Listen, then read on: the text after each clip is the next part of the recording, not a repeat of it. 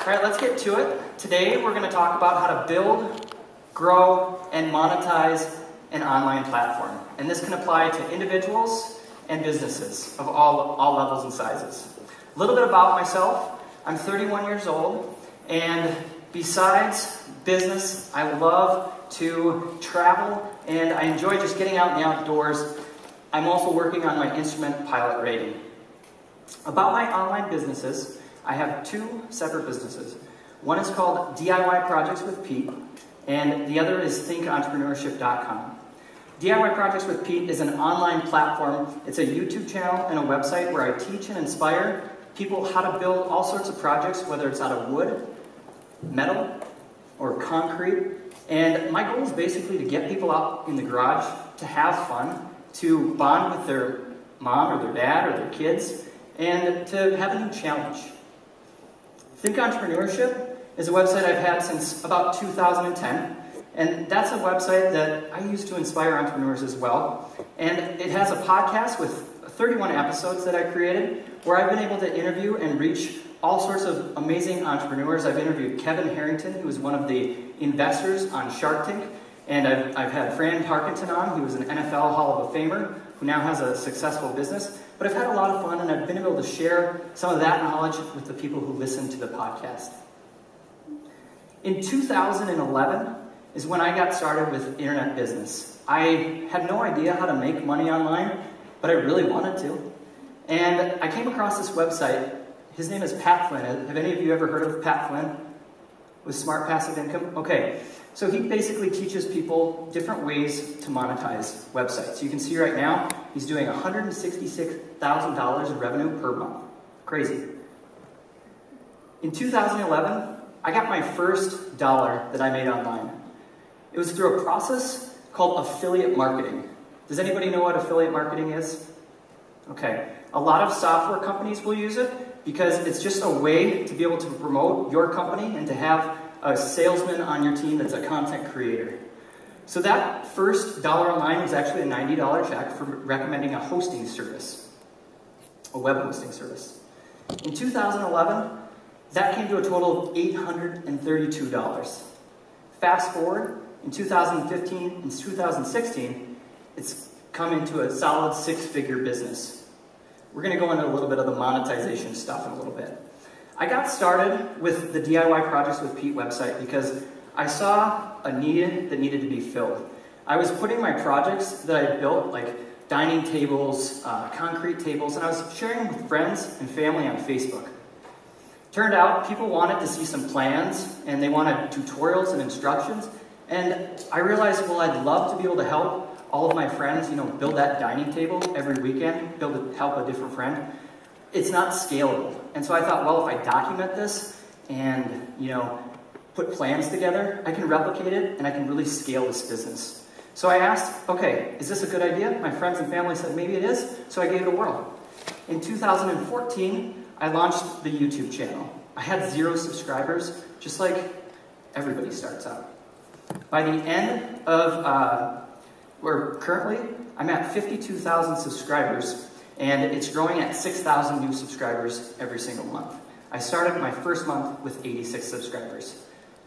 Views also continue to climb, and I'm currently just short of 4 million views, 400,000 each month. Here's a, just a quick example showing um, what a video is like. This is kind of hyper speed here, but um, we're just going to show you one of the how-to home improvement type videos.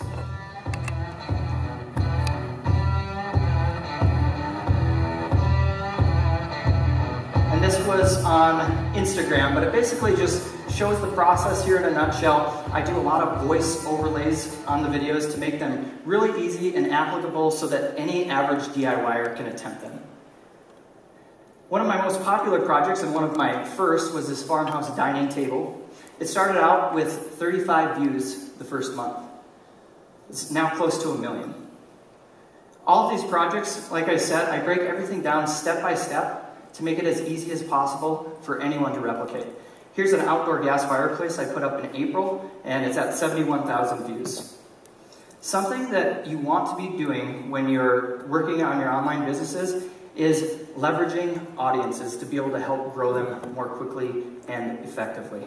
So one of the things I've done is I've reached out to different uh, platforms like Make Magazine. This was featured in their actual print publication, and it kind of got that snowball going for the first time.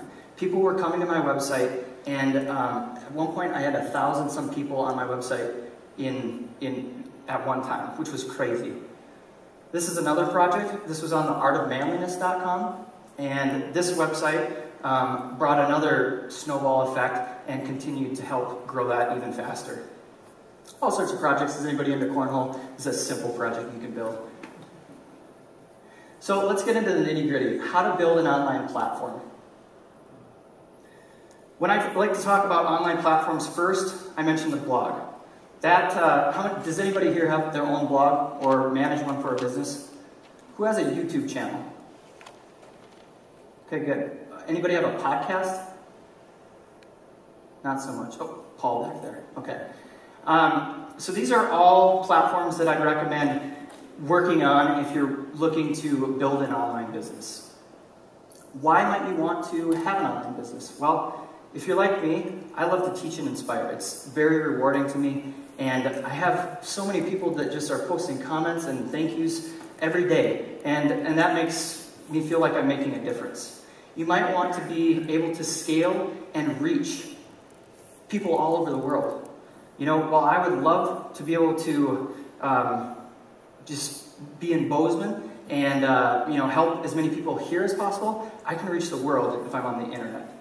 Evergreen content is another big thing, and basically evergreen content means that your content is not going to go outdated, and people are going to continue to search for it for years to come. Much like, say you had a cooking blog and you're showing how to grill a steak, somebody's going to continue to search for that year after year. And once you've created that original content, it's up there and people can continue to see that information and you can figure out ways to monetize that. One of my good buddies has a website that holds him accountable. We're going to talk about that in just a little bit. Websites are also great for building credibility and authority and for growing businesses. Here's something I just want to show you that there are actual people um, that you are dealing with when you are creating, or when you're doing your YouTube videos and everything. You can, um, I mean, you are making a difference. Here's just a couple people that have seen the videos and uh, have given a little bit of a response. My name is David, and I like to DIY because I like to take things that are going to be thrown away, such as pallet wood, and make it into something useful. Thanks again for the giveaway. Say hey, Pete. God bless. Uh, hello, I'm Jimmy and I'm from Hong Kong. I really like the White project. It's simply because I really enjoy the process of making things, um, just like finishes. My son is two years old, and I really want to pass on to him the skills needed uh, to build things. And so I like to go into the shop and do DIY projects because I get to pass those skills on to my son and that's probably the best reason. Thanks, Pete. I really appreciate everything you do. Um, you're a wonderful channel, and you're very inspiring, so thank you. All right, so the reason I, thank you. The reason I do this is because I know it's making a difference, and if it's helping just one person, that means all the world to me. And you can do this in any industry. This is just the DIY here. Now, I wanted to mention a couple um, local online entrepreneurs who are also building platforms. Now, this gal, her name is Jackie, and she has a website all about travel. We got started, um, I taught her kind of some of the basics about monetizing a business about three or four years ago. And now, for the last year, she's been traveling around the world. She gets paid to do it, and all of her costs are covered. Here's a buddy. Uh, his name is John Dumas. He's not from Bozeman, but he runs a website um, and he interviews an entrepreneur every single day. And he shares this with the world. He has millions of downloads. And because he's created such credibility and authority in his niche, he's been able to create all sorts of digital products and services and membership websites. And as you can see, his revenue every month, he shares it, is $219,000. Another friend, uh, Andrew Youderian, he lives here in Bozeman. He's built an online community for six and seven figure store owners, and he puts a conference on together for these people every single year around the country. This year's is in uh, Georgia. This is another website. This is the one I was talking about. My good buddy, he's actually here today, and this is called Recovery Elevator. Um, he created this website because he's a recovering alcoholic. He's been sober for two years now, and he has a podcast with 77 episodes. Every Monday, a new one comes out.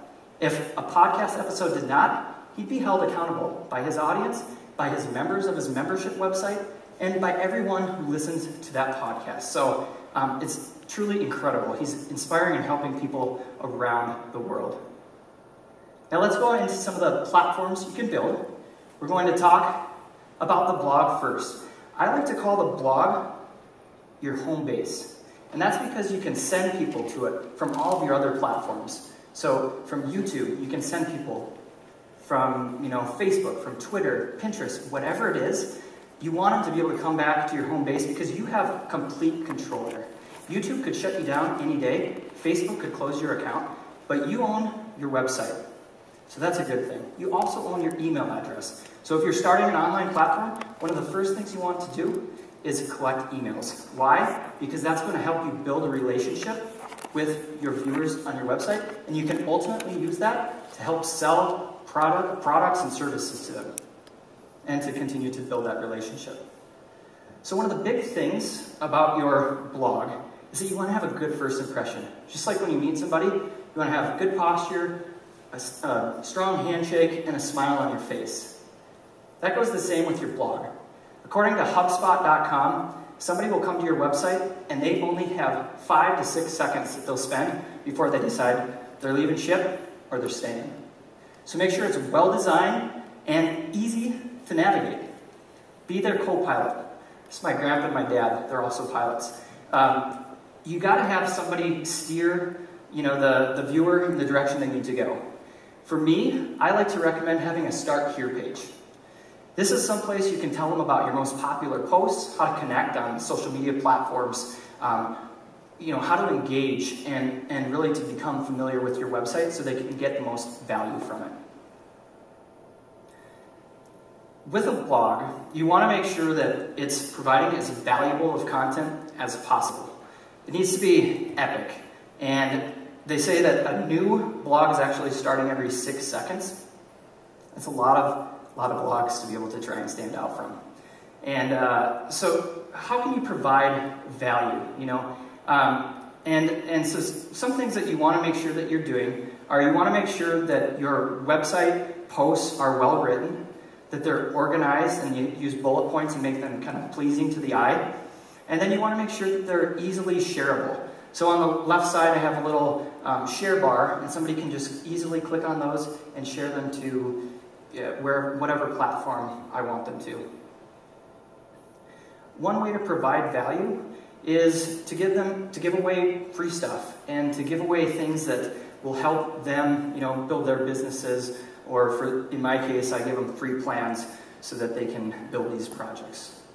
A lot of people wonder, you know, why do I give away free plans? I call it a lead magnet. And if you don't know what a lead magnet is, it's basically you providing value and giving someone who visits your website something super valuable in exchange for an email address.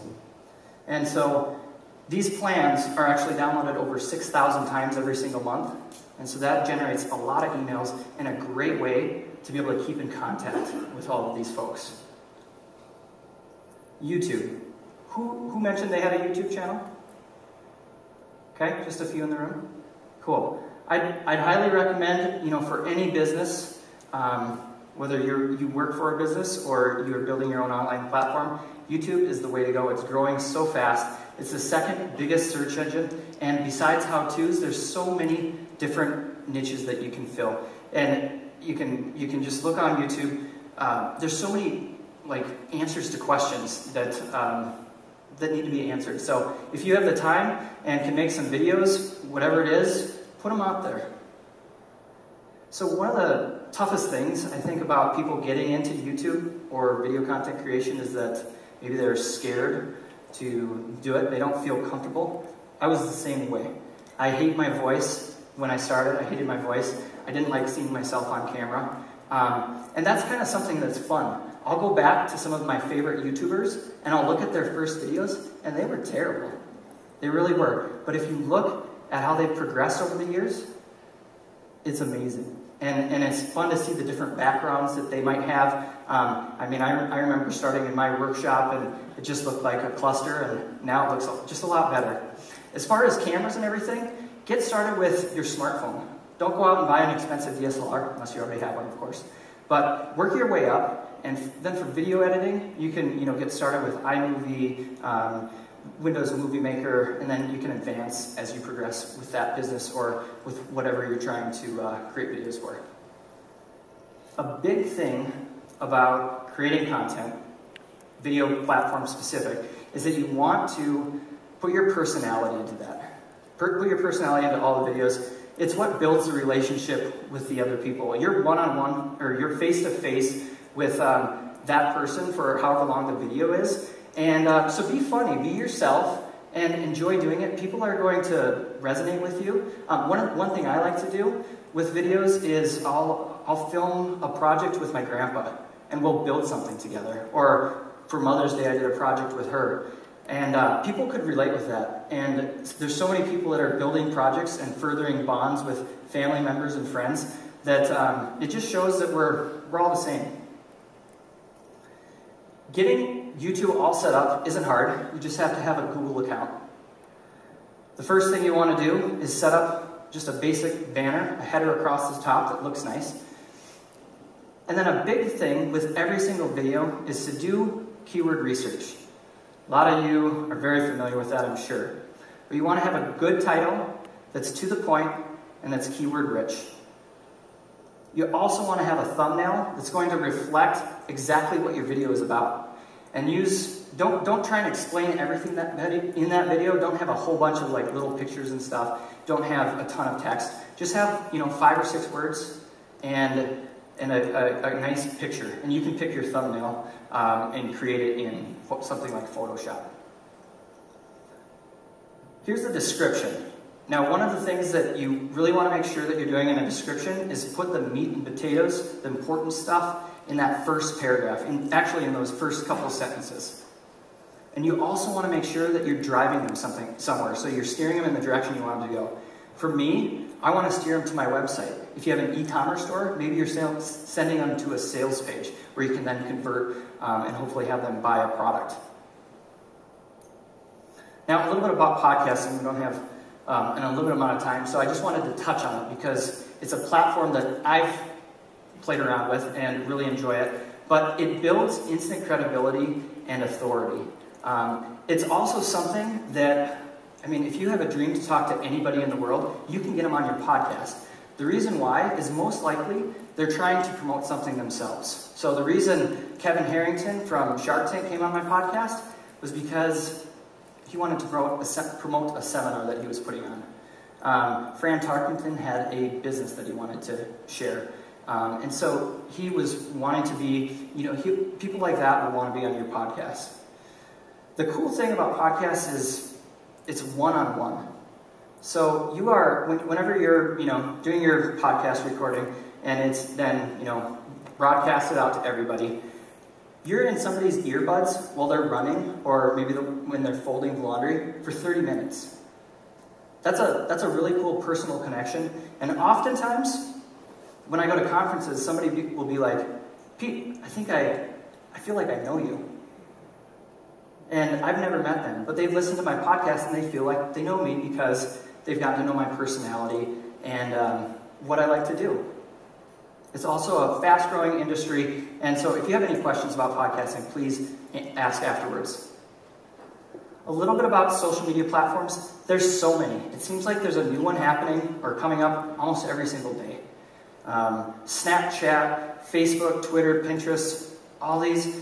But in my experience, I've had to kind of narrow my focus because I can't be really good at everything. It's just not possible. I don't, you don't, we don't have the time to do it. Um, and so I've focused on uh, Facebook, and I think that that's important no matter what business you're running. Um, Instagram, if you're working with a lot of visuals.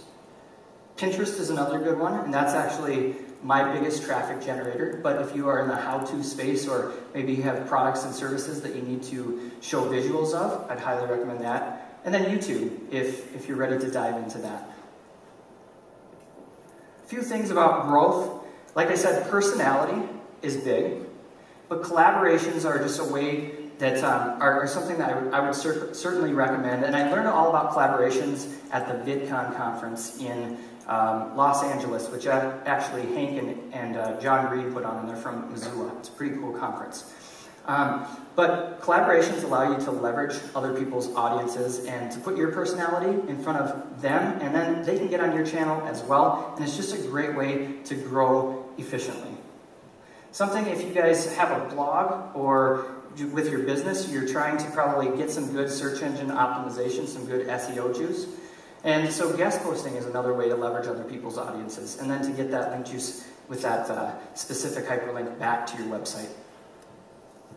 Some things I've really noticed too are that the more consistent you are with putting content out on a regular basis, the better off you're going to be by far. People learn to expect when every single new podcast is like Paul has a podcast that comes out every single Monday. People expect that. Um, YouTube, same way. Um, and, and with your blog, you should have a content schedule as well. So make sure to plan that out each and every year at the start and, and kind of update it throughout. Here's a collaboration I did, and I did it with uh, Recovery Elevator. Um, I found out that a lot of people were benefiting um, who were alcoholics or recovering alcoholics from doing projects.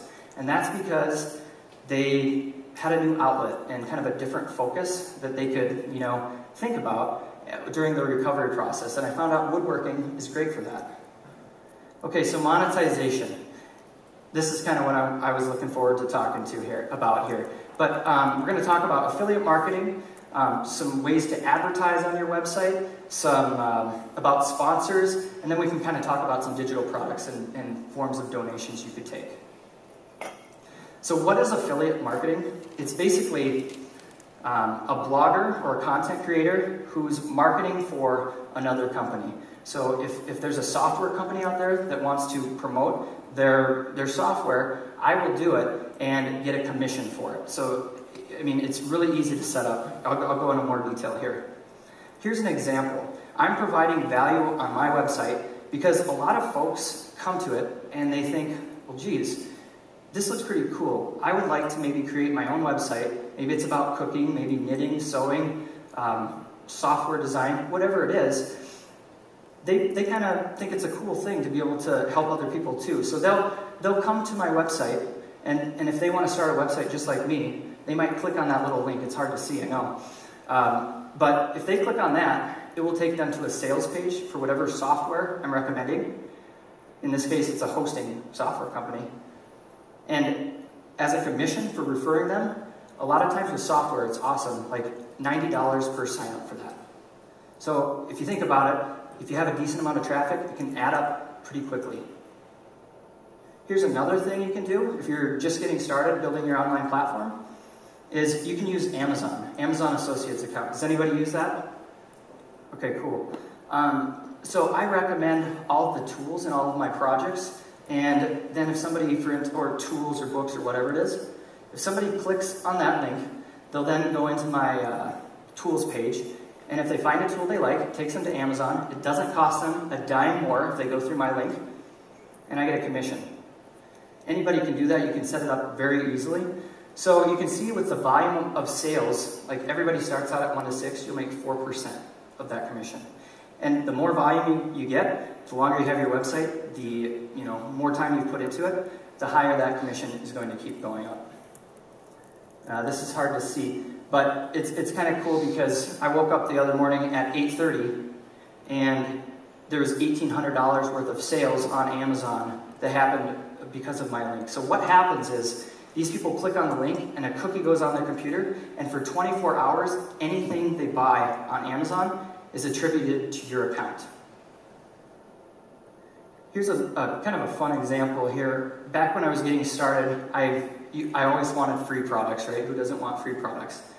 And I learned um, that these, these companies are seeking out YouTubers because they have loyal audiences, and it's just a great way to share the product.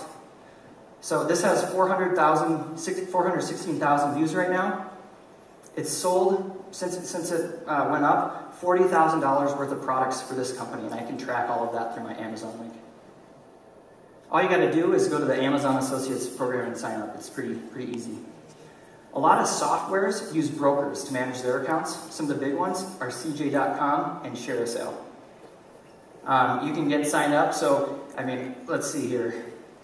Anything you're interested in. So, say you want to market apparel for Major League sports teams. You can get signed up for a program that does that. I mean, it's kind of limitless. There's anything under the sun. Say you like kayaking and you just went down the Gallatin River and you want to talk about it.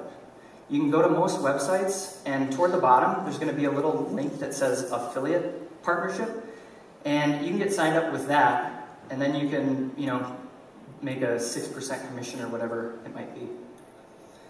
For YouTube and Google, you make money by having these little advertisements. Do these look familiar? Do you click on the X right away, probably?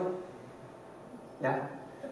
So that's how the YouTubers make money, and, but it's not very much.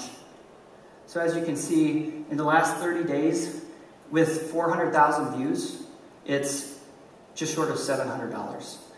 So you really need to have a lot of traffic to be able to make a decent income just using YouTube. And that's why all these YouTubers have affiliate partnerships and sponsors. Here's Google AdSense. This is another thing you can get set up super easily. You don't have to go out and find the advertiser. It's, it's just there. Google hooks you up with it. Um, but with about 150,000 unique visitors, this brings in right around 500 a month, which is a nice addition for sure. Um, but if you're going to make a full-time living off of it, you need to figure out some other uh, ways to be able to monetize. Now, as you grow, you'll you'll be uh, you'll be able to reach out to different companies. These are some of the ones in my niche that I, I work with on a pretty continuous basis, and I reached out to them when I had about 10,000 subscribers.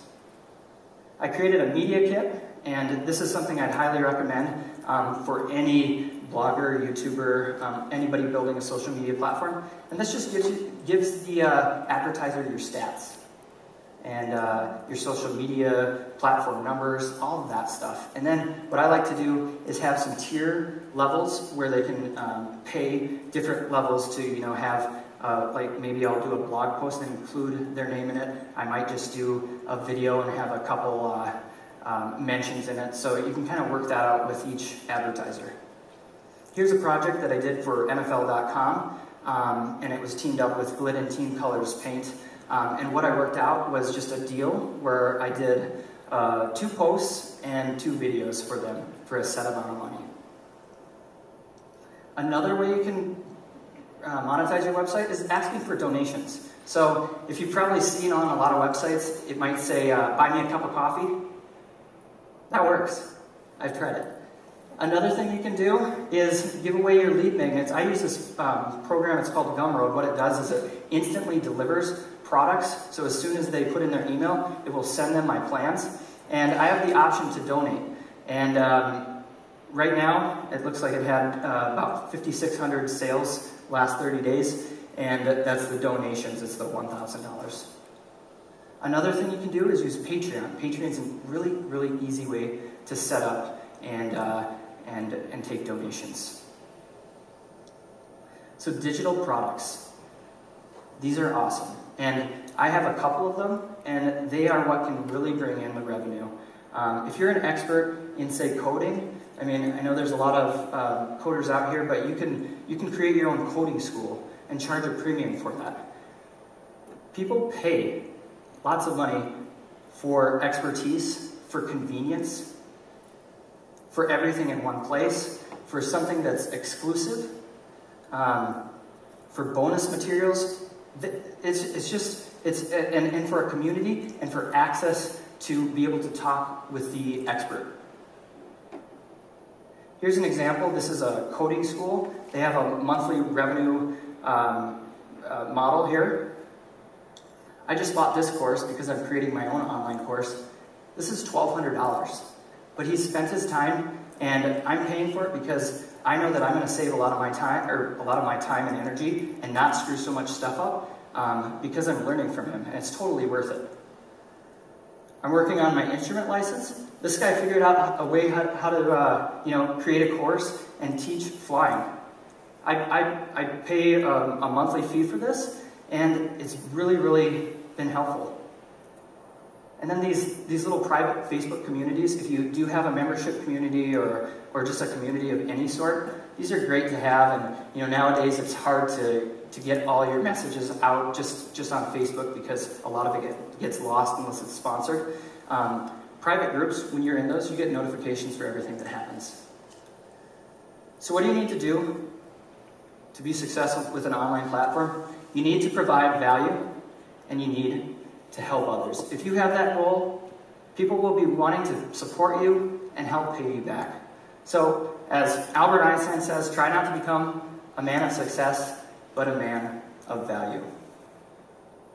So, how can you grow your online platform? I want you to think about that and brainstorm some ideas, and then make sure you take some action on it because I'd love to see these platforms you create and for you to share with the world and to make a difference and inspire other people. Does anybody have any questions? Rob. So you made a comment about companies that seek out YouTubers. How does, how does that process work? Rob just asked, how does a company um, looking for YouTubers seek them out? That's a really good question. A lot of the companies have PR firms that they work with, and those PR firms deal with content creators on a daily basis. There's also websites like FameBit, and uh, that basically is somewhere uh, like a content creator can go and a company can go, and it's kind of a broker. So it, uh, like you could just say, okay, I have this software and I want um, somebody to promote it, and you can say, I'll give them $500 for doing a video on it, and then it's kind of a bidding process. So that's one of them. But yeah, I mean, there's, there's a whole bunch of different ways. A lot of PR companies will, will be reaching out to content creators, or you can just email me. You know, I mean, somebody, somebody could email the content creator. Good question.